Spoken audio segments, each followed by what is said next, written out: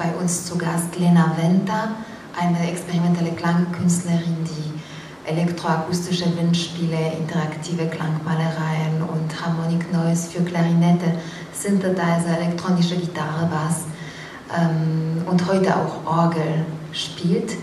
Ähm, wir lassen uns überraschen, gleich geht es los. Ich wünsche euch allen viel Spaß und einen wunderschönen Abend.